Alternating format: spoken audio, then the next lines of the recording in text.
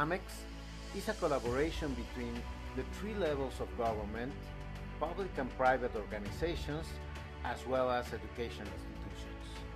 FAMEX is the right business forum for product, service, and technological exchange, promotes foreign direct investment, job generation, and human talent development, supporting the growth of Mexico's aerospace industry that in 2019 had an export revenue of more than 9.6 billion US dollars.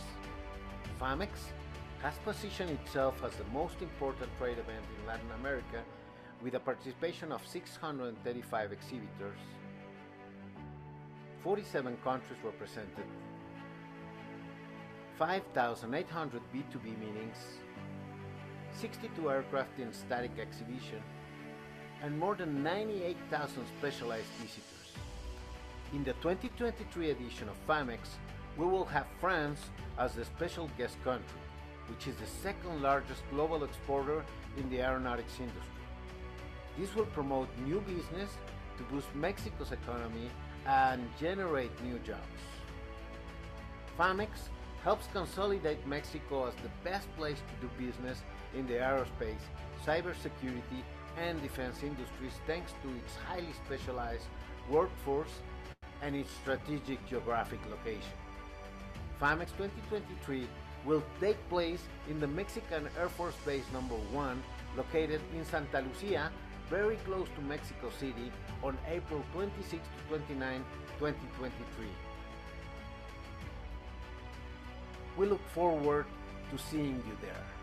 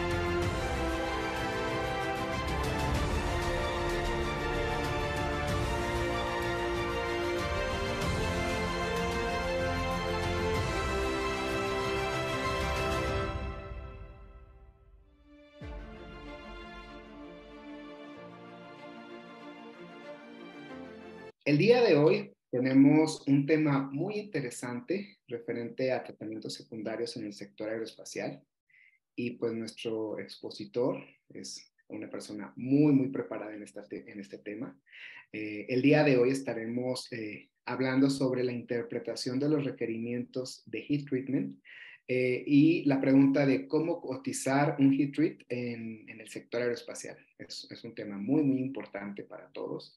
Y el día de hoy estará apoyándonos, eh, compartiendo este tema, Humberto Ramos Fernández, quien es director de la empresa HTMX, Heat Treat and Heating. Eh, gracias, Humberto, por, por apoyarnos en, compartir este tema. Y a la par, eh, comentarles sobre el webinar que tendremos nuestra siguiente semana. Los invitamos a eh, registrarse eh, en el link que aparece en pantalla. El día, en la siguiente semana estaremos hablando sobre el ABC del Sistema de Gestión de Calidad Aeroespacial. Tendremos a Ernesto Bonó, quien es auditor externo por parte de Tubnor Argentina. Si gustan hacer su registro, lo pueden hacer desde este momento utilizando el código QR o dirigiéndose hacia el link que aparece en pantalla. para todas aquellas personas que, que no conocen perdón, sobre, sobre FEMIA, pues nosotros somos una asociación privada sin fines de lucro fundada en el 2007 eh, que agrupa a las principales empresas eh, de la industria aeroespacial en México en temas de manufactura, mantenimiento, diseño, ingeniería, así como otros servicios. Eh, actualmente contamos con más de 110 miembros en 14 estados del México, los cuales representan el 80% de las exportaciones del sector aeroespacial en México. El origen del capital son aproximadamente un 35% eh, capital mexicano y 65% capital extranjero. Eh, nosotros tenemos un alcance nacional y colaboramos con eh, organismos afines o similares a FEMIA con el fin de poder desarrollar el sector aeroespacial. Aquí están algunos de nuestros miembros. Eh, dentro de esta filmina van a encontrar logos, eh, pudiéramos decir que son muy importantes. Bueno, todos son igual de importantes para nosotros. Me refiero a muy conocidos en la parte de OEMs y Tier 1 Contamos con Bombardier, con Boeing, Airbus, entre otras compañías. Y de igual manera, pues los Tier 1 están dentro de nuestra membresía. No menos importante y muy relevante vienen siendo las pymes, eh, que, eh, que, son parte también de nuestra membresía y todos ellos son muy importantes e igual de importantes porque conforman el eh, ecosistema del sector aeroespacial. bueno, para todas aquellas personas que tienen el interés de poder estar en contacto con nosotros, les mencionamos el staff que nos integra.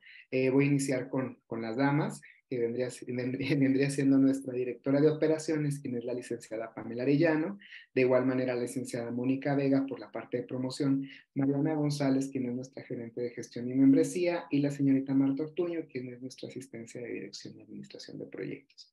Eh, nuestro presidente es el doctor Carlos Robles, y de igual manera, nuestro eh, presidente ejecutivo es el ingeniero Luis Vizcano, quien se disculpa porque en este momento eh, se encuentra eh, en una agenda de trabajo y pues por ese motivo estamos de este lado. Su servidor Enrique Maldonado Cervantes por parte del Programa Nacional de Desarrollo de Proveedores. quiero mencionarles sobre el evento aeroespacial de América, literalmente, es la Feria Aeroespacial México en su edición 2023 que se llevará a cabo del 26 al 29 de abril en, la base aérea número 1 de Santa Lucía. Eh, si necesitan información adicional, en el código QR pueden eh, descargar más información. De igual manera, en la página de FAMEX pueden eh, e incluso generar sus registros. Si tienen alguna duda sobre el evento o buscan alguna disponibilidad, nosotros también como FEMIA podemos apoyarles. Quiero mencionar de que el país invitado en esta ocasión es Francia. Y pues bueno, este, estaremos esperando que estén participando en este evento con nosotros también. Mencionarles que tendremos una sesión de preguntas y respuestas al finalizar la presentación de Humberto. Eh, este será por, la, por el área de chat. Eh, les agradecemos también que en el chat nos mencionen de qué empresa nos acompañan, eh, cuáles, en dónde se encuentran ubicados actualmente para poder conocer también a nuestra audiencia. Eh, y bueno, sin más, eh, me permito presentar a, Humberto Ramos. Humberto Ramos Fernández es ingeniero mecánico con maestría en ciencias y comunicaciones del tecnológico, comunicaciones de tecnología, perdón, con más de 16 años de experiencia en industria. Es fundador y actual director de HTMX. Esta empresa fue fundada en el 2012 eh, el señor Ramos ha liderado el establecimiento de HTMX, ha liderado el establecimiento de HTMX, que es una empresa especializada y certificada en tratamientos térmicos para la industria aeroespacial, automotriz, petrolera, entre otras. En 2022, HTMX se convirtió en la primera y única empresa en Latinoamérica ofreciendo el proceso de prensado caliente isostático o heating eh, y con clientes eh, que van desde OEMs hasta Tier 3. El señor Ramos tiene una amplia experiencia en desarrollar e implementar procesos secundarios de alta complejidad, cumpliendo con los más altos requerimientos. Y pues sin más, Humberto, te cedemos eh, la palabra, cámaras y micrófonos para ti y que nos, eh, agradeciéndote el espacio y que nos compartas la información que tienes para nosotros el día de hoy. Muchas gracias. Muchas gracias, Enrique. Pues eh, gracias por la introducción. Si quieren, vamos a, a pasar la presentación.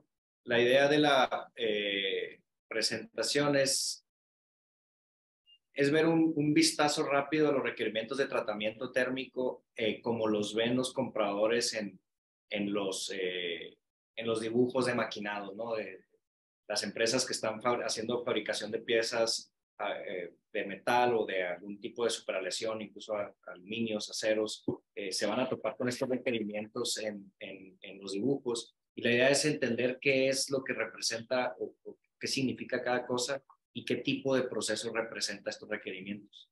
Eh, y así poder tener una mejor comunicación entre quien está haciendo la eh, fabricación de la pieza y comprando este tratamiento secundario y con su proveedor de, de, tratamiento térmico. Eh, bueno, empezando un poquito acerca de nosotros, nosotros nos dedicamos al tratamiento térmico, estamos certificados en ADCAP, en, en AS ya varios, varios años, unos cuatro o cinco años, eh, y le damos eh, servicio principalmente a la industria aeroespacial. Trabajamos también con la industria automotriz, eh, electrónica, de, oil and gas y, diferentes nichos, ¿no? pero nuestro principal enfoque es el tratamiento térmico para la industria aeroespacial. Y damos todo tipo de tratamiento térmico de los tradicionales, como, como los, el temple, el carburizado, normalizados, recocidos, hasta el proceso este de, de hipping o el prensado isostático en caliente que, que mencionaron ahorita. ¿no? De hecho, aquí es, este es el equipo, una foto ahí de baja internet, pero ese es el equipo que tenemos aquí con el que estamos haciendo ese proceso. Eh, bueno, si quieren, entrando a lo, a lo eh, relevante, bueno, más que aquí se me atraviesa todo, no veo mi presentación. Bueno, ¿en qué consiste un tratamiento térmico? Realmente un, un tratamiento térmico, para decirlo de una manera sencilla es calentar y enfriar las piezas de manera controlada, en una atmósfera controlada, eh, para modificar las propiedades mecánicas de, de, en sí de la pieza, ¿no? del material. Eh, lo que estamos modificando normalmente es, hacemos la pieza más dura, la hacemos más blanda, podemos homogenizar la microestructura, podemos densificar la, microestructura, eh, podemos endurecer solo la superficie, por ejemplo, y, bueno, ahí podemos cambiar la resistencia a la tensión también. Eh, y es el tipo de, afectaciones que hacemos a, a, las propiedades mecánicas. Y es básicamente lo que la gente busca al momento de comprar un tratamiento térmico. Eh, el más común y el más, eh, digamos, directa, la manera más directa de medir esto, el tratamiento térmico va a ser con, el, con la dureza superficial para las piezas que se están endureciendo y con la microestructura para las que se están homogenizando o, o, eh, normalizando. Ya dependiendo del proceso y el material, las temperaturas van desde los 180 grados para los procesos de envejecimiento eh, más sencillos o, más bajos, hasta incluso 2000 grados cuando estás haciendo, trabajando cerámicos, ¿no? Pero lo más común es andar hasta los 1200 grados, que serían los, eh, las superalesiones y los aceros altos en níquel. Eh, entonces, en, realidad el tratamiento térmico, bueno, ustedes lo, lo, lo, han visto eh, eh, en las películas, ¿no? Con las, las espadas que las calientan y las enfrían en el agua, pues eso es básicamente lo que hacemos, pero se hace a través de hornos de tratamiento térmico y pues buscando controlar todas estas variables. ¿Cuáles son los efectos de tratamiento térmico? Una de las cosas muy importantes al momento de de comprar un tratamiento térmico, de estar contactando, eh, buscando este servicio, es entender que además de, los, de, las especificaciones y lo que se logra con el, con el endurecimiento de las piezas, que ahorita lo vamos a ver, también las piezas reciben eh, eh, un choque térmico y muy alta temperatura, por lo cual es, es físicamente, es una reacción física el tener distorsión en la pieza, ¿no? Entonces, esto es algo importante que se debe considerar en el proceso de la manufactura para siempre dejar material eh, excedente para hacer algún tipo de, rectificación o en caso de ser alguna barra, enderezar, por ejemplo. ¿no? Eh, la razón por la que ocurre la distorsión eh, es básicamente por al momento de transformar la microestructura interna del acero durante un tratamiento térmico. No nos vamos a meter mucho a la parte técnica, pero digamos, la nueva microestructura que estás generando con el tratamiento térmico volumétricamente es mayor, entonces la pieza tiene, los, los granos van a crecer internamente, entonces la pieza tiene que crecer hacia algún lado o enchuecarse hacia algún lado. Entonces, todo esto se busca controlar con, utilizando los parámetros de las normas aeroespaciales, fixtures, controlar la temperatura del aceite, del grado, del, del, medio de temple, etcétera, ¿no? Pero es algo importante que se debe considerar. Igualmente, el tratamiento térmico eh, eh, va a generar eh, una, una, superficie con, con eh, un tipo de porosidad diferente, lo cual debe tomarse en cuenta si es que posteriormente se va a hacer un, un recubrimiento químico. ¿no? Por ejemplo, si ustedes piensan que se, debe, se templa la pieza y luego quieren mandarla a recubrir, hacer un, un eh, pues cualquier tipo de platinado, debe llevar una limpieza química o un rectificado posterior también. Entonces, estas son cosas que deben de considerarse. El tratamiento térmico en sí, eh, en raras ocasiones, es la última operación de manufactura. Normalmente eh, siguen más eh, operaciones y estas son las cosas que deben de tomarse en cuenta en, este, en esta cadena.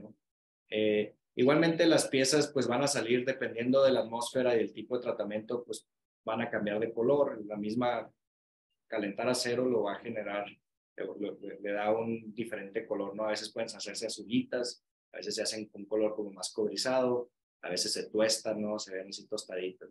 Entonces depende mucho en qué las estás enfriando, en qué atmósfera las estás procesando, pero esto es algo que se debe tomar también en cuenta, puesto que estéticamente se van a ver ligeramente diferentes las piezas.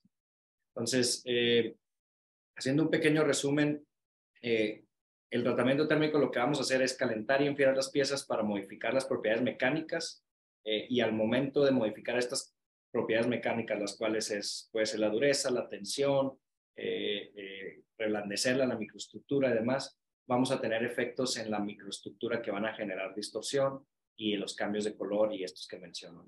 Entonces, todo esto se debe considerar en el proceso de manufactura para evitar pues que, que, las, que las piezas tengan algún problema en, posterior al tratamiento térmico. Ahora, ¿cuáles son el tipo de tratamiento térmico que comúnmente se ve en la, industria aeroespacial? Y esto es basado en nuestra experiencia acá en, en, la planta en Chihuahua con nuestro mercado. Eh, son las más comunes, pero faltan algunas. Eh, uno de lo que vemos mucho aquí en la industria aeroespacial es el tratamiento térmico por, eh, por precipitación. Este se usa para los aceros que terminan en pH.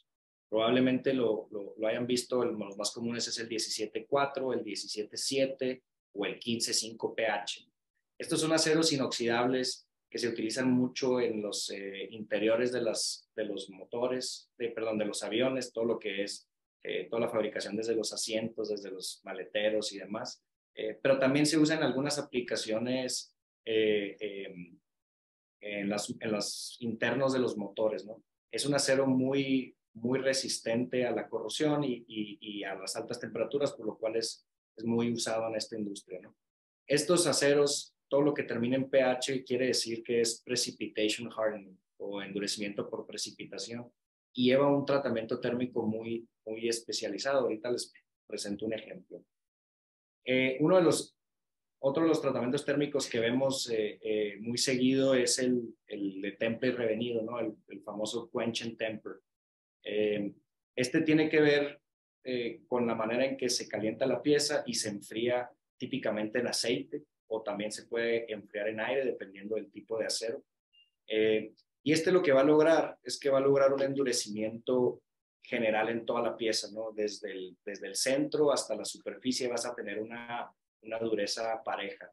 se utiliza más que nada en los aceros de bajo carbón, medio carbono también, como el 4130, el 4140, que me faltó un cero en la presentación, el 9340, entre otros. ¿no? Este logra durezas de más o menos entre 50 y 60 Rockwell C eh, los aceros, pero si los requerimiento es más bajo, pues esta, esta, esta dureza puede disminuir hasta, eh, digamos, los, los 30, 32 por ahí. Eh, otro tratamiento térmico común en, la, industria es el normalizado. Este es un proceso que las, algunas specs aeroespaciales lo piden previo al tratamiento de temple y revenido. El normalizado básicamente lo que hace es darle un reset a la microestructura, ¿no?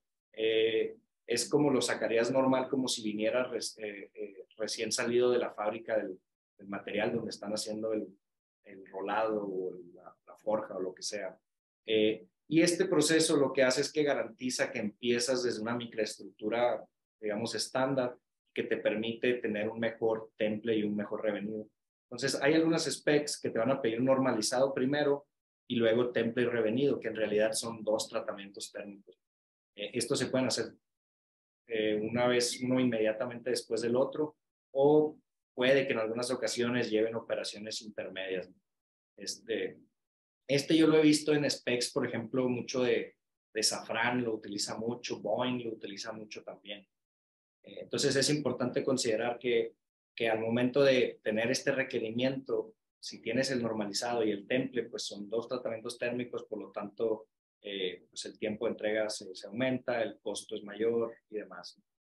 Eh, otro muy, muy, muy eh, eh, común es el annealing o el recocido en español. Eh, normalmente en los dibujos lo manejan como annealing. Y, y, este es un proceso que lo que estás haciendo es reblandecer el acero. este se va a ver en, en muchas eh, aplicaciones donde el acero o las piezas han sido sometidas a esfuerzos, eh, tanto en frío como en caliente, ¿no? Por ejemplo, estampados, troquelados, eh, donde estás doblando el acero. Eh, por ejemplo, a, habrá algunos procesos, si ustedes están fabricando una de alguna placa y haciendo doblados, eh, es probable que requiera algún proceso de recocido. Y esto lo que hace y el por qué lo están, lo piden estos dibujos, es porque al momento de que tú estás doblando las piezas en, en, el, en el área donde doblaste la pieza, estás haciendo una, eh, una cambio en la microestructura. Entonces vas a tener diferentes propiedades mecánicas en el doblez que en la pieza. Entonces lo que quieres es como homogenizarlo. Entonces de ahí viene el, se usa el proceso de annealing. Este existe para ceros y también para aluminios incluso. Eh, y luego vienen otro tipo de procesos que son los endurecimientos superficiales. Cuando tú estás endureciendo una pieza como en un temple normal, eh, lo que estás haciendo es endurecer toda la superficie, ¿no? Todo el acero genera una microestructura y esa microestructura tiene las propiedades mecánicas, digamos, casi constantes, ¿no? Si tienes una barra de, digamos, 4 pulgadas, por ejemplo, la dureza que tengas en el centro o en el núcleo de la pieza debe ser muy similar a la que, a la que tienes en la superficie. Eh, pero existen otro tipo de tratamientos térmicos en los que te puede eh, o se puede endurecer solo la superficie de esta pieza. Eh, estos se utilizan, por ejemplo, en, en, aplicaciones como engranes, como flechas, como algunas cosas que estén en contacto de metal con metal y que pueda haber eh, desgaste. Lo que quieres es que sea muy dura la superficie, pero que el núcleo sea relativamente blando para que no sea frágil, ¿no? Por eso por eso se usan los engranes, por ejemplo, en las, las flechas, en las levas, en, este tipo de, de eh, elementos mecánicos, ¿no? Eh, y dentro de este tipo de endurecimientos superficiales existen dos principalmente que son los que más se utilizan en la, en la industria aeroespacial. El primero es la nitruración o el famoso nitriding. Existen varias versiones, ¿no? Existe la nitruración, existe la nitruración eh, gaseosa por plasma, eh, incluso en sales también, y incluye y existe la FNC que se llama Ferritic Nitrocarburizing. Básicamente todas son eh, unas versiones del mismo proceso, pero que utilizan diferentes variables. En la industria aeroespacial, lo más común es la nitruración al vacío, y este te va a generar por medio de, de, meter las piezas a una atmósfera muy rica en, en, nitrógeno. El nitrógeno se va a de, depositar en la, en la superficie de la pieza y eso es lo que te da la dureza en la pura superficie. ¿no? En, la, en el tema de la nitruración estamos hablando de profundidades de capa de 5 milésimas de pulgada, a lo mejor 10, 11 milésimas, 20 ya es un proceso largo y son procesos eh, que toman bastante tiempo. ¿no? Eh, por ejemplo, si uno quiere nitrurar un acero pH, un 17.7, puede tomar hasta 50 horas de horno. Si las piezas estar adentro, las prendes, las, metes el lunes y las sacas el miércoles y logras capas de todas maneras muy bajas. Entonces es un proceso largo, es un proceso muy controlado y, por lo tanto también es un, un proceso costoso. Eh, otra versión de endurecimiento superficial es el carburizado o su hermano, el carbonitrurado. Eh, este funciona diferente, este sí es un endurecimiento de tratamiento térmico eh, y este se usa en aceros que tienen bajo carbono. Si ustedes están, por ejemplo, trabajando un 10-10, un acero 11-17, un 10-18, los aceros que que, tengan un, un bajo contenido de carbono por sí solos no son endurecibles porque no tienen suficiente carbono. Entonces lo que se hace es que los metes a una cámara que esté muy rico en carbono, el carbono se empieza a pegar, se empieza a depositar y dependiendo del tiempo que tú lo dejes es que tanto penetra ese carbón y es que tanto qué tan gruesa es la capa de endurecida. Eh, eh, con esto se logran durezas muy altas, eh, y es un proceso muy, muy utilizado. Por ejemplo, en aeroespacial el 8620 se utiliza mucho eh, en temas de engranes y en temas de rotores para, para ciertas partes de los motores de los aviones. Y luego, por último, pues otro de los comunes es el, el aluminio, que el aluminio se comporta muy diferente al acero, se utilizan temperaturas mucho más bajas eh, y básicamente ahí lo van a cotizar dependiendo de la condición, si es un T4, un T5, un T6 o sus variaciones, ¿no? Hay un T6-5 y hay, hay muchas de estas variaciones que lo único que eh, define o la, la, diferencia es de, de qué punto estás partiendo, o sea, el aluminio en el que, que, estás trabajando, en qué punto, en qué condición está y la dureza, ¿no? Eh, esto también se hace un, digamos, como un enfriamiento drástico, un temple en, en agua o en glicol, a diferencia del, del, acero que se hace en aceite. Eh, y son procesos, temperaturas mucho más, más cortas, ¿no? Pero a la vez llevan procesos de envejecimiento más largos que en el acero. Entonces, son procesos también bastante largos. Eh, sobre todo el aluminio, uno de los temas a considerar aquí es el tema de la distorsión. Muy comúnmente las piezas del aluminio son delgadas y y hay que considerar eh, eh, que eventualmente va a haber algo de distorsión, sobre todo dependiendo de la geometría de la pieza. Entonces, estos son, digamos, los tratamientos térmicos más comunes. Hay variaciones, hay temple, por ejemplo, tratamiento térmico al vacío, que se me, creo que hubiera sido bueno incluirlo aquí también, que es otro muy común en la industria aeroespacial. Eh, y existen tratamientos térmicos por inducción, por, por bueno, algunas otras variaciones, pero en realidad esto es, digamos, lo, lo que más comúnmente se ven en los dibujos de las empresas que están fabricando y haciendo maquinado de piezas aeroespaciales. Bueno, eh, dentro de, los tratamientos térmicos, yo les he mencionado que existen diferentes atmósferas que, en las que se procesan las piezas. Y a esto, eh, nomás para entender la diferencia, eh, todos estos requieren diferentes tipos de equipos, ¿no? Entonces, la, flexibilidad de su proveedor de tratamiento térmico eh, eh, pues depende de los números y de la cantidad de equipos de estos que manejan. Eh, el más famoso, digamos, o más de moda es el al vacío, ¿no? Que es, pues, como lo dice su nombre, procesa las piezas en, en, ausencia de atmósfera y esto para evitar que no haya reacción del gas de, la, de los gases con el acero. existe el tradicional endotérmica, eh, este es un gas reductor que se, que se inyecta a la cámara de la, del horno y evita o básicamente elimina la reacción que hay entre el oxígeno y el carbono del acero para que no haya oxidación. Entonces tú tienes un gas reductor que, que compensa la parte oxidante de la atmósfera y generas un potencial de carbono estable y es con lo que controlas esta atmósfera. Y luego existen los gas neutros, ¿no? los tratamientos que se hacen en, en argón o en nitrógeno, eh, muy, por ejemplo, los pHs, este tipo de aceros eh, eh, se llevan a cabo en atmósferas neutras donde, donde estás ingresando argón para desplazar el oxígeno y, el aire. ¿no? y por último están los hornos atmosféricos. Estos son los hornos que no tienen control de atmósfera interna, que es básicamente la atmósfera del aire que estamos respirando. y estos se usan para procesos de baja temperatura eh, como son los revenidos y algunos envejecidos, y para los procesos como, el, como en el aluminio, ¿no? donde no tienes el problema de la oxidación. Entonces, dependiendo del spec de la pieza, que ahorita lo, vemos más adelante, y del material, es donde tú vas a escoger el tipo de atmósfera que es requerido para procesar esas piezas.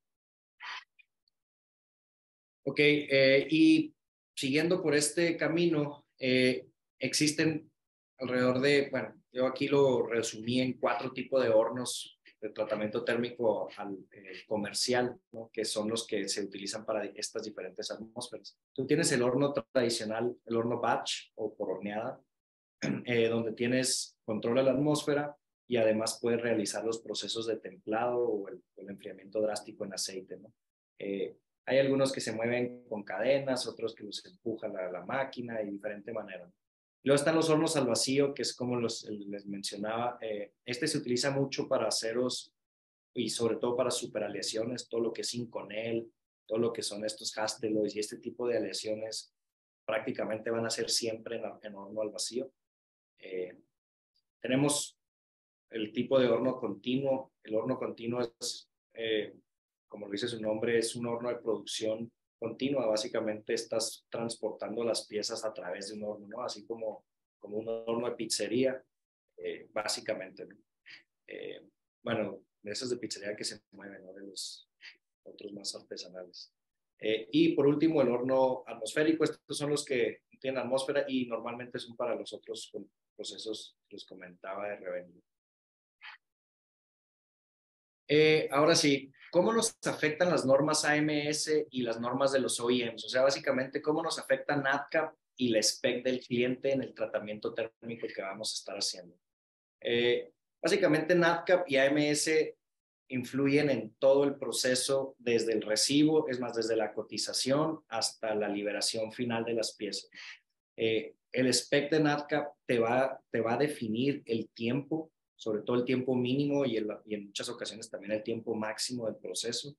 Es decir, eh, a lo mejor vamos a tratar, por ejemplo, un 41-30 y te va a decir, tienes que dejarlo dos horas a, tanta, a 860 grados Celsius. Eh, entonces, por más que nosotros queramos hacer más eficiente el proceso y hacerlo en una hora, eh, la norma te, te, te, obliga a hacerlo en dos horas tal cual. Entonces, en sí, la duración y, los, y las temperaturas de los procesos están muy controladas. Hay rangos, hay veces que te deja un rango de temperatura, eh, pero en muchas de las ocasiones está todo limitado. Eh, también rige el tiempo máximo entre, entre los pasos del proceso. Por ejemplo, tú no puedes empezar un proceso, hacer la primera temperatura, templar, y luego tardarte 10 horas para meter a revenido. Es que templar y no hay un máximo de, creo que, bueno, depende de la lesión, entre dos y cuatro horas para hacer el siguiente proceso. Eh, entonces, la programación de los hornos, al momento de tu programar la, la, producción, tienes que considerar esto, tienes que asegurarte de que va a haber un horno disponible para el otro proceso en lo que sale del primer proceso. Entonces, esto lo, lo, comento para eh, para que los mismos, incluso los compradores, entiendan y comprendan la, la, digamos, la complejidad a veces de, de, eh, de las programaciones, por lo cual eh, eh, bueno, es, es, importante tomarlo en cuenta y tener una buena comunicación. cualquier desviación de la norma, si nos pasamos un minuto, si nos pasamos 10 minutos, si hicimos un minuto de menos, si se nos subió un grado la temperatura o dos grados, eh, todo esto requiere que le notifiquemos al cliente. Estamos obligados nosotros a generar una desviación, aunque no haya tenido un efecto en la, en, la dureza, ¿no? Si todas las piezas están dentro de especificación, pero resulta que se nos subió el horno dos grados más de la tolerancia durante un minuto, eh, hay, hay necesidad de avisar y hay que firmar y generar toda una, una desviación para liberarlo. Obviamente esto no es lo ideal y es en casos eh, extremos, ¿no? Que llegue a pasar, pero si las piezas están mal, o, eh, perdón, si el proceso no se llevó tal cual como lo dice el, librito, entonces hay que notificar. Como yo les comentaba que el proceso, toda la certificación ATCAP afecta desde la cotización. Eh, básicamente lo que el sistema de calidad y lo que te pide NATCAP eh, es que tú sepas traducir lo que te están pidiendo el requerimiento que te pide el cliente a una cotización. Entonces, eh, todo ese procedimiento, esos formatos, esos registros de cómo tú eh, eh, interpretas estas normas de los clientes, todo esto tiene que quedar registrado y, tiene, y es auditable. Entonces, hay veces que, que pareciera que los hit readers son muy estrictos al momento de, de, realizar una cotización cuando te piden el dibujo, que te piden el spec, que te piden digo, todas estas partes eh, técnico, pero es, es porque estamos obligados a tenerlo para poderlo traducir eh, a una cotización, básicamente eliminando cualquier, eh, evitando que asumas, ¿no? ¿no? puedes tú asumir nada, tienes que hacer, estar asegurado de que el cliente te está pidiendo tal cual es. Em, uno de los puntos más importantes de la norma que, que se vea afectada con, con, cuando un cliente especifica un servicio AMS o NATCAP es el tema de la pirometría. Pirometría es la manera en que tú controlas, digamos, el, el horno y el proceso interno, ¿no? La temperatura, qué tan seguido vas a calibrar. Eh, por ejemplo, a diferencia de la industria automotriz, que, que, puedes calibrar ciertos controladores una vez al año, la, los aeroespaciales te lo piden cada seis meses o cada tres meses. Eh, igual tienes que estar validando eh, con mayor frecuencia. También te exigen las pruebas TUS y SAT, radiación. El TUS es el, es el estudio de uniformidad de la temperatura. Entonces nosotros periódicamente tenemos que estar midiendo y meter y metemos nueve termopares en la cámara y aseguramos de que la variación que hay entre el termopar más frío y el termopar más caliente contra la temperatura de control está dentro de un rango. Muy comúnmente estos rangos son 15 grados para temperaturas muy altas eh, eh, y 7 grados para temperaturas más bajas y ya en los aluminios y en cosas más delicadas el control es hasta de 5 grados, dependiendo de la clase y tipo de horno. Eh, igualmente, tú, el, el, requerimiento de los controladores y los graficadores y los generadores de la evidencia del ciclo, todas estas características están definidas en la norma. Tú no puedes tener, por ejemplo, un graficador de aquellos antiguos que eran una gráfica de circular, ¿no? Por ejemplo, eso ya no está permitido, tiene que ser digital, tiene que ser un, registrador calibrado y demás. Eh, incluso te, te, te, limitan a la separación que hay entre las piezas, ¿no? No podemos meter las piezas encimadas porque no garantiza que la circulación del aire o la atmósfera entre las piezas sea la óptima. Entonces, eh, el mismo en NADCAP te señala que hay una separación mínima eh, entre piezas. Y esto, pues obviamente tiene un, efecto en el número de piezas que puedes procesar por horno, por, por lote o por horneada, eh, limitando la, producción. Entonces, no es lo mismo que en automotriz, donde las puedes meter más, más pegadas y pues es más fácil procesar más piezas por cada lote. Eh, nosotros tenemos que tener un certificado de materia prima para poder procesar las piezas. Ese es un certificado, un requerimiento que nos pone NADCAP. Entonces, si ustedes van a comprar un tratamiento térmico con algún proveedor certificado NADCAP, forzosamente les debe de pedir el certificado de material de la, de materia prima. ¿no? Este es el que viene de, del fabricante del acero. Eh, igual, el NADCAP te afecta cómo, cómo está la PO, la orden de compra eh, de cierta manera es el contrato eh, entre el, donde el cliente está aceptando el servicio o está especificando el servicio que le fue cotizado eh, y debe de haber un match entre lo que dice la PO y lo que dice la cotización. En esta PO tienes que tener hacer referencia al certificado material, al, al spec que se va a hacer y demás. posterior a eso, ya una vez que haces el, proyecto, el proceso de, de tratamiento térmico, pues todas las mediciones de calidad eh, evidentemente van a estar controladas también, ¿no? Desde los movimientos de las mediciones de dureza, las calibraciones, este, eh, etc. Eh, y la otra es, si el cliente es un OEM, tú debes de tener aprobación directa y NADCAP te exige que tengas una aprobación por escrita de este cliente para poder correr el proceso. Es decir, si maquinado, si una empresa de maquinados, maquinados Chihuahua, por ejemplo, quiere maquinar para Honeywell Aerospace, eh, aunque yo sea NADCAP, yo debo de tener aprobación de Honeywell para poder correr las piezas del, del cliente, ¿no? Eh, si no, mi tratamiento térmico, aunque sea NADCAP, no es válido para el OEM. Y esto aplica con Honeywell, aplica con Boeing, aplica con Safran, bueno, en ciertas divisiones de Safran, dependiendo del tipo de piezas que hagan. Eh, y básicamente con todos estos, estos clientes de los, de los OEMs. Bueno, algunos ejemplos de las normas AMS, así es como lo van a ver ustedes en sus dibujos. Eh, a veces les va a pedir la AMS 2759-1, por ejemplo, o 2759-2, o 3, o 5.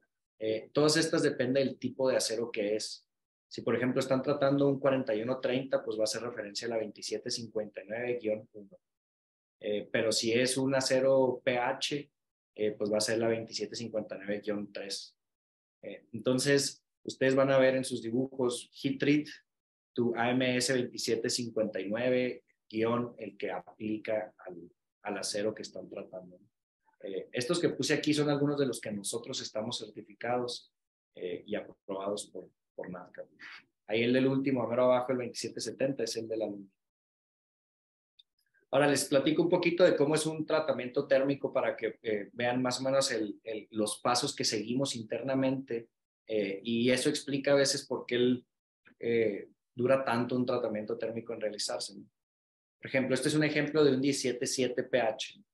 Una vez que nosotros recibimos las, piezas, tenemos que hacer una, auditoría de recibo. Todo esto tiene que haber un registro, es requerimiento NATCAP, eh, donde hacemos, auditamos la orden de compra, auditamos el certificado material, que la orden de compra corresponda con la certificación, que haga referencia al número de parte, etcétera generamos nuestra documentación interna de estas auditorías y de las hojas de ruta y luego ya pasamos a cargar las piezas, luego hay que lavarlas, eh, eliminar cualquier tipo de aceite que se haya usado para el maquinado o para el empaque o lo que sea.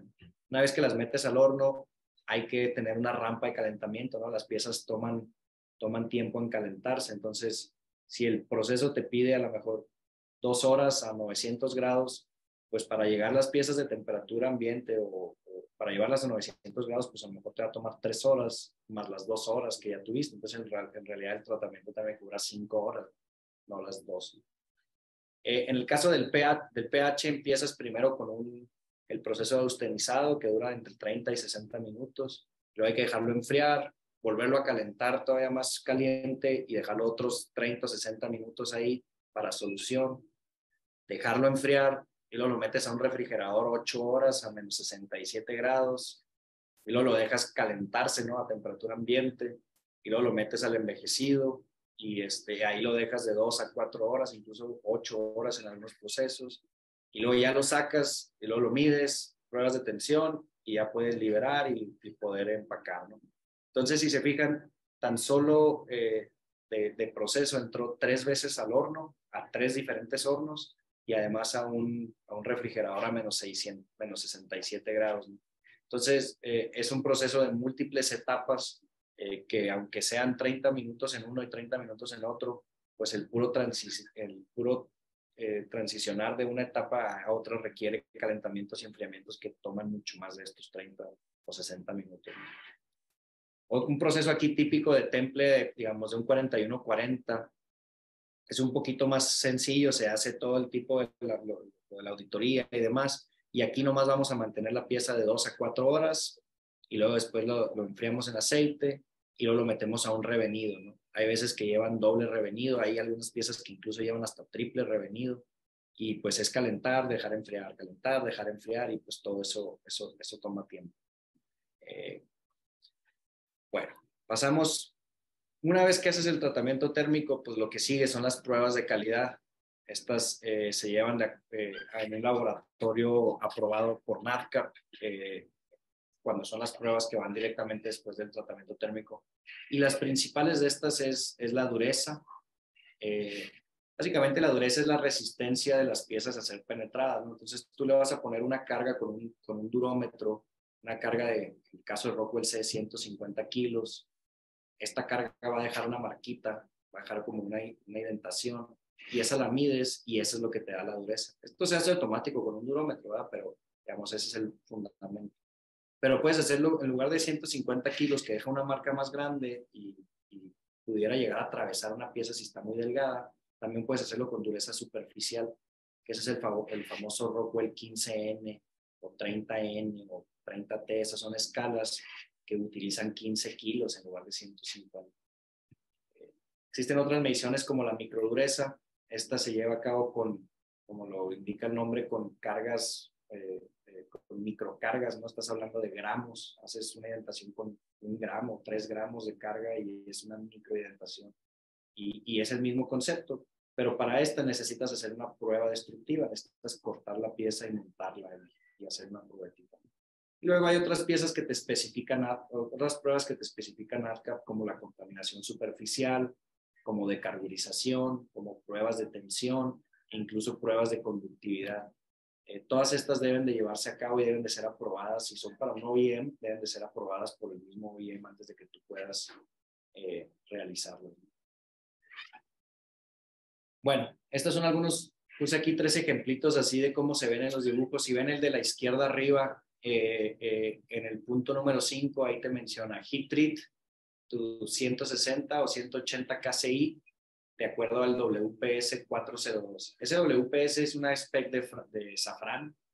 Eh, y aquí, este lo, lo, menciono, este es un material de 4130, ahí dicen en el, el punto número 4, pero lo menciono porque si se fijan, aquí no te está pidiendo dureza, te está pidiendo resistencia a la tensión. Entonces, este lleva un procedimiento diferente para, para probar. Eh, hay que fabricar un pequeño testigo y se pone en una máquina de tensión. Eh, Luego a la derecha hay un, un, requerimiento hecho a mano. Así nos topamos con dibujos muy antiguos que todavía están hechos a mano. Incluso mencionan specs vencidos. ¿no? Todo este que dice 1000, eh, esas son las versiones anteriores de la MS. Eh, entonces ya está obsoleto y ya existe un procedimiento nuevo. Entonces, si ustedes envían o se topan con un dibujo que hace referencia a una norma que empieza con MIL, muy probable que ya esté obsoleta y, el, y, el, y su heat treater, si es un heat treater responsable, les va a pedir que acepten hacerlo bajo la norma, eh, eh, la que aplica la moderna. ¿no? Eh, esto puede que, que, requiera una desviación de parte de ustedes o puede que no, normalmente no, porque pues es el nuevo, pero es algo a, que hay que considerar. Y luego, por ejemplo, existen algunos algunos requerimientos que te piden alguna cosa en especial, ¿no? aquí en el que está abajo de la pantalla, eh, pues te pide que hagas solo en el, en el punto 502, el último renglón, te dice que hagas de acuerdo, es un aluminio, que lo hagas de acuerdo a la 2770, condición T8, 51, pero que hagas solo el envejecido. Entonces aquí nomás estás haciendo el último paso del proceso, no tienes que hacer los primeros pasos. ¿no? Y esto es porque ya ellos ya especifican una materia prima que trae ciertos requerimientos, ¿no? Pero eh, lo menciono porque de repente te topas con estas cosas que tienes que interpretar y tienes que entender qué es lo que quiere el que está fabricando la pieza. Eh, ahora sí, ¿qué necesitamos para poder cotizar? ¿no? Si nosotros, hablando eh, como heat treater, ¿qué necesitamos que el comprador nos envíe para poder cotizar? Obviamente el primer requerimiento es el dibujo, ya sea el dibujo con las dimensiones generales, si es una barra, no necesitamos que hagan un dibujo especial para nosotros, eh, pero sí un dibujo donde se haga la mención del tratamiento térmico, donde se especifique el tratamiento térmico, porque esto es, esto es auditable. Eh, necesitamos también conocer el volumen, por obvias razones, ¿no? Hay que saber cuántas piezas van a requerir para ver si tenemos la capacidad, si tenemos los equipos, etcétera. ¿De qué tamaño es el lote? Eh, la manera en que se procesan las piezas, pues es como un horno, como un horno, ¿no? Entonces tú sabes si puedes, a lo mejor caben 10 piezas, a lo mejor caben 20 piezas, y el costo para tratar 20 piezas, pues va a ser el mismo que si tratas una sola pieza, porque el proceso es lo mismo. Eh, entonces, la idea de, de, platicar y coordinar los lotes es pues, para tratar de ser lo más eficiente al momento de, de procesar las piezas y tratar de meter los lotes más completos, más llenos para que sea más eficiente para el cliente y, y, por ende más, más económico. Eh, también necesitamos que nos manden los specs, si, hay, si es que es un spec interno. Si, por ejemplo, están tratando para piezas, no sé, templando piezas para Caterpillar, ¿no? Por ejemplo, un, cliente que no sea aeroespacial y te dice, oye, hazlo de acuerdo a la spec Caterpillar 304. tienes que enviar esa spec para que nosotros podamos revisarlo. Caso de que sean specs de la industria como los AMS, pues eso tenemos acceso nosotros. Pero si son de algún OEM o de alguna cliente de algún Tier 1, pues eso necesitan hacernos llegar. Y muchas veces estos specs hacen referencia a otro spec interno, ¿no? Entonces hay veces que te dicen que te mandan la spec que menciona el grupo, pero esa spec menciona otras cuatro, ¿no? Entonces necesitamos todo el, todo el arbolito para poder asegurarnos de que estamos cumpliendo con todo. Y bueno, el tema de las fechas, pues para la programación, para asegurarnos de que tengamos los recursos disponibles eh, y poder dar el, mejor servicio. Y ahora para procesar las piezas, ¿qué necesitamos? Pues lo que les, ya les había comentado, necesitamos el certificado de materia prima y la orden de compra. Sin esos dos no podemos nosotros eh, procesar las piezas porque estaríamos violando los requerimientos de NAFCAP. NAFCAP te exige que tengas el certificado de materia prima porque es la manera en que nosotros garantizamos que el acero que estamos tratando es el acero que se cotizó. Y en la orden de compra porque de cierta manera es nuestro contrato, ¿no? Es la manera en que nosotros podemos eh, demostrar que estamos realizando el proceso que el cliente nos quiso comprar. Entonces, ya una vez que logramos la cotización y que se acordó que se envían las piezas, antes de poderlas meter al horno, nosotros necesitamos estos dos, estos dos documentos. Bueno, ya terminé este eh, justo tiempo. No sé si tengamos alguna, alguna pregunta eh, sobre el tema. No sé, si vamos a, ver. Creo que estás en mute. Listo. Muchas gracias, Humberto. Eh, bueno, iniciamos nuestra sesión, como bien lo mencionas, Humberto, nuestra sesión de, preguntas y respuestas. Los invitamos a, que por favor eh, dentro del área de chat nos compartan por ahí este, las inquietudes que tengan, aprovechar que está aquí Humberto con nosotros. Eh, mientras eh, sucede esta parte, Humberto, en algunas empresas o dentro de la industria siempre nos comentan la parte, y, y, creo que me quedó ahí, este, bueno, parte claro, pero me gustaría que, que nos lo pudiera reafirmar, el tema del tratamiento térmico como un proceso intermedio. Porque muchas empresas dicen, bueno, tengo una parte maquinada, hago el proceso de tratamiento térmico al final del maquinado, durante el maquinado. ¿Qué es lo más recomendable? o si depende mucho de la aplicación de la parte o también por parte de, de, de, de la, de, la, especificación del cliente. ¿Cuál es tu, punto de vista en ese punto, Humberto? En el mundo ideal, el tratamiento térmico es un proceso intermedio, es un proceso en el eh, posterior, a lo mejor haces el maquinado burdo, eh, se hace el tratamiento térmico y luego haces el acabado final con la pieza ya templada. Esto para asegurar las dimensiones finales. Hay algunas aplicaciones en las que eh, a lo mejor la tolerancia no es tan, tan justa, ¿no? O a lo mejor nomás rectificas una zona de la pieza, pero lo ideal es considerar siempre el tratamiento térmico como un proceso no final. Eh, hay algunas excepciones, sobre todo en el caso de la nitruración. La, el proceso de nitruración sí es un proceso final, ese no genera distorsión o no debe de.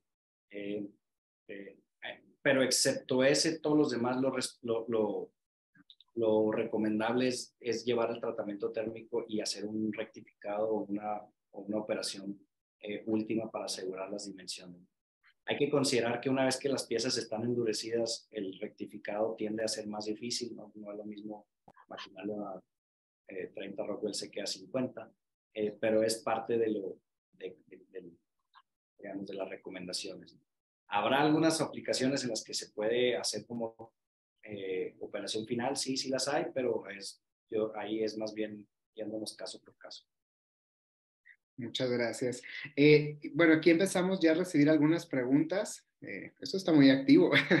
eh, por parte de Joana Humberto nos comenta, ¿hay nuevas tecnologías que estén influyendo en los procesos de tratamiento? Quiero pensar que es térmico, pero dice aquí literal dice técnico. Tecnologías que puedan ser integradas a los procesos. Eh, ¿Qué nos pudieras mencionar sobre esta parte, Humberto? Eh, sí, pues miren, eh, por ejemplo, nosotros el, el, proceso que mencionabas de, de heaping o el de prensado caliente isostático es un proceso de, de, nueva generación donde lo que buscamos es densificar el material. Este, eh, entonces, lo menciono porque esta es una aplicación y es un proceso diseñado para aplicaciones para impresión en 3D, por ejemplo. Si ustedes están imprimiendo nuevas tecnologías de manufactura de impresión en 3D, la impresión te va a generar una porosidad y con el proceso de densificación de, de prensado de caliente isostático puedes eliminar esa porosidad. ¿no? Eh, por ejemplo, esa es una aplicación. En el caso del de, tratamiento térmico, por ejemplo, la nitrulación selectiva, eh, es el proceso que se, se, utiliza en todos los tipos de rodamientos de nueva generación, todos los que les llaman frictionless bearings. ¿no? Todos estos llevan eh, nitrulación selectiva y es un proceso eh, específicamente diseñado para, para ese tipo de aplicación. Entonces, sí existen desarrollos. El tratamiento térmico, pues es un, es un, eh, pues es muy antiguo, ¿no? En realidad lo que tú estás buscando es, son ciertas propiedades mecánicas. Entonces, lo que sea, lo que, los cambios que han pasado es buscar adaptar el tratamiento térmico a los nuevos requerimientos de propiedades mecánicas de los, de los materiales y de los, de los aceros. Muchas gracias. Por aquí tenemos una pregunta de Juan Víctor Sainz. Eh, nos comenta sobre el certificado de materia prima. En caso de que, bueno, aquí lo comenta, de que sea de procedencia dudosa, eh, ¿qué nos pasaría con el tema de garantías sobre el tratamiento térmico? ¿Se relaciona una cosa con otra o, o, cuál sería el deber ser cuando sucede una situación de este tipo?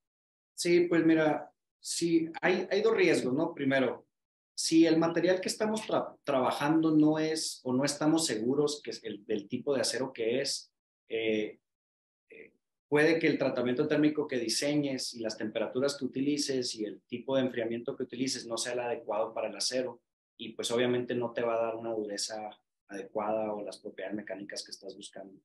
Y en el peor de los casos es que sea un acero o un material muy, muy diferente y lo, y lo puedas hasta fundir, ¿no? incluso este, causando daños en los equipos y obviamente echando a perder las piezas.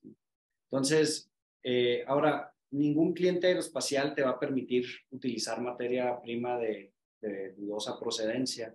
Eh, entonces, digamos, no es algo muy que se vea muy común en, en, la industria aeroespacial. ¿no?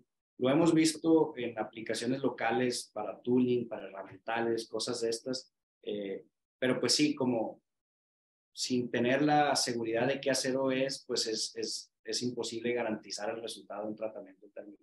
Correcto. Muchas gracias. Tenemos una pregunta adicional de O'Neill sobre costos. Este, nos menciona qué tan más costosos se consideran los servicios de tratamiento térmico para el sector automotriz eh, y la industria aeroespacial, Humberto. De manera muy general, ¿qué nos pudieras mencionar? Mira, eh, todo depende mucho de los volúmenes y del, y de la, del tipo de, de, proceso, ¿no? Este, pero básicamente lo que nos limita o lo que aumenta el costo con lo aeroespacial y con lo, auto, automotriz es el diseño del proceso y, el, y los volúmenes, ¿no? Cuando tú estás hablando de industria automotriz, pues tienes muy alto volumen y muy baja mezcla y puedes dejar corriendo y no hay que hacer setups ni nada. ¿no? En el tema aeroespacial, eh, pues van a ser corridas mucho más cortas, tan simple por la naturaleza de la industria. Entonces son hornos más, digamos, menos llenos porque aparte no los puedes cargar tanto. Entonces, si, me, si yo te fuera a decir un porcentaje así, digamos, eh, sin, basado en, nomás en el feeling, yo te diría que un, un tratamiento térmico aeroespacial debe ser alrededor de entre 40 y 50% más caro que un automotriz. Ok. Muchas gracias. Tenemos una pregunta de una empresa establecida aquí en Perú, bueno, en Perú. Este, nos menciona Alex Tirado, son dos preguntas. Eh, en caso de uniones soldadas, ¿también se requiere tratamiento recocido? Y la pregunta, la segunda pregunta es, en el caso de tratamientos de 40 a 41, ¿en qué caso se requiere efectuar revenidos sucesivos? Eh, bueno, en el caso de, las, de la soldadura, lo más recomendable, mira, la soldadura tiene, hace un microtratamiento térmico en el momento en donde tú estás fundiendo acero y calentando el acero arriba de 700 grados. Entonces, eh, si tú lo que quieres principalmente o, lo normal es hacer un relevado de esfuerzos para, ciertos, para ciertas aplicaciones de soldadura, en otras es un recocido completo. Eh, igual varía de pieza en pieza, habrá algunas ocasiones que no, que no lo requiera, pero la recomendación es, es que después de un proceso de soldadura, si esa pieza va a estar sujeta a esfuerzos mecánicos, debería de llevar un relevado de esfuerzos o algún proceso que garantice la homogeneidad de la, de la microestructura. Eh, y, en, y en cuanto al 4140, no es común que el 4140 requiera múltiples revenidos. En eso sería específicamente si un eh, cliente lo pidiera. Eh, hay aceros como los, los eh, de altos en, de, de, níquel, por ejemplo, el H13, el D2, eso sí te obligan a tener dos revenidos obligatorios, incluso hasta un tercero es, es beneficioso. Pero esto depende mucho de la especificación del cliente, ¿no? En, el día a día, el 4140 normalmente basta con un revenido. Perfecto. Una pregunta, bueno, ya estamos justo en tiempo, pero me gustaría cerrar con esta última pregunta por parte de Oscar Solano. Eh, nos pregunta referente a una comparativa entre la parte aeroespacial y automotriz. Nos mencionan el proceso de elaboración de validación como el, proceso PIPAP. ¿Cuál sería su equivalente dentro de la industria aeroespacial para la validación de este proceso? Eh, bueno, eh, lo que aplica es el, el, el FAI o el, First Article Inspection. El tratamiento térmico en sí no estamos fabricando la pieza, estamos dando un servicio. Entonces, esto va a estar regido, o sea, el, el FAI va a ser más bien, eh, lo va a regir quién es tu cliente, ¿no? En el caso, por decir, aquí en Chihuahua que está Honeywell Aerospace. Si Honeywell Aerospace te está, eh, tú estás fabricando piezas para Honeywell Aerospace, tú vas a tener que hacer el, el FAI con ellos. Eh, y nosotros, como parte de un proceso específico, no, no debemos de requerir generar un FAI para cada pieza que estamos haciendo. Eh, pero igual, todo depende en qué nivel de la cadena estés, si estás vendiéndole a un Tier 2, a un Tier 1 o a un OEM. Eh, normalmente con OEM sí vas a tener que hacer FAIs, ¿no? Directo. entonces, pues es, es, algo que hay que, que ver caso por caso pero en respuesta sería lo equivalente es el, el FAI. Perfecto. Tenemos por ahí varias, algunas preguntas que te haremos llegar, Humberto. Eh, de antemano agradecerte eh, el tiempo, el espacio que nos das para, para este webinar. Y a nombre de la Federación Mexicana de la Industria Aeroespacial, te agradecemos, Humberto, por este, este, este webinar que, que, que nos impartes el día de hoy. Muchísimas gracias. No, a la orden, eh, ahí, bueno, ahí estaba mi correo ahorita, es humberto.ht mx.com. Eh, cualquier duda, cualquier tema, estamos a la orden. Eh, igualmente, para si tienen algún requerimiento específico que quisiéramos, que quisieran que revisáramos, con gusto lo podemos hacer a través del correo. Muchas gracias, Humberto. Y bueno, recordarle a la audiencia de FAMEX 2023, ya estamos a unos días, eh, será del 26 al 29 de abril en la base aérea número 1 de Santa Lucía, cerca aquí a la Ciudad de México. Nuestro país invitado en esta ocasión sería, será Francia y si tienen eh, intención de participar, acérquense con nosotros, marquen sus calendarios para poderlos eh, estar eh, viendo eh, allá este, en, en, este importante evento. Y bueno, eh, de igual manera agradecerles eh, el espacio, el tiempo, pedirles que nos sigan en redes sociales para enterarse de todo lo que estamos haciendo dentro, dentro de FEMIA, tanto en Facebook, Twitter, en nuestro canal de FEMIA de YouTube, así como en, este, en nuestro LinkedIn y nuestro correo de contacto. Eh, recordándoles sobre el siguiente webinar que llevaremos a cabo este miércoles 22 de marzo de 2023, en esta ocasión de la mano de.